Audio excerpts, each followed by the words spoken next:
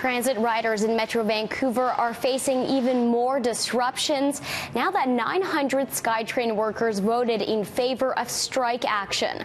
The CUPE 7000 members have delivered a 96.9% mandate. The union says more than 40% bargaining sessions failed with the BC Rapid Transit Company.